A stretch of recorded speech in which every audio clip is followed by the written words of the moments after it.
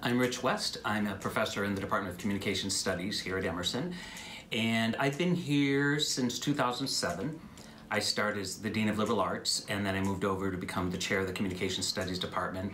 And a few years ago, because I kind of missed that teaching element, I decided to step down as chair and go full time into teaching, and since then I love it. And that, to me, is one of the primary motivations why anyone should consider Emerson College, and specifically the Department of Communication Studies, because in the end, what we all try to do is figure out what matters most to us. And for those of us who have done administrative tracks, we realized that was really important, but we missed the energy, we missed the commitment, we missed the excitement of the classroom.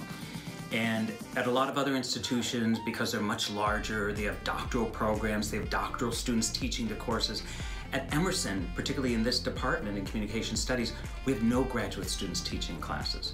We have full-time professors, we have full-time practitioners who are here teaching all kinds of classes at different levels. So that's one thing I think everyone should think about as they're considering what kind of school they want to attend. A second issue is there's kind of a, an energy a model, if you will, that we take theory and put it into practice. And if you think of an acronym, theory into practice, we give a tip to students every semester. We really embrace the idea that you can't separate these things, that we have theori theoretical people, such as myself, who do quite a bit of research, but we just don't do research for research purposes. We try to make a difference with the research. And so we're out there in the community, we're trying to make a difference with the people we serve the, on the campus, and for that reason, I think students should seriously think about um, what kind of program they want to be in, and the Communication Studies Department seems to be a perfect home for that.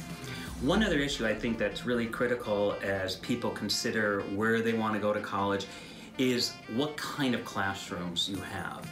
And in communication studies, there's probably no other phrase I can use except student-centered. Uh, we get to know our students by their first names, I'd say by week number three. I had a class of 35 students and it took me four weeks, so I had to kind of indulge a little bit. But after a month, I knew every student by their first names. We feel very comfortable for students to call us by our first names. And it's that student-centered, that kind of co-creation of a classroom that makes a big difference. So for those kinds of reasons, I really think communication studies as a home for people who want to find faculty not only as mentors, but as friends as well.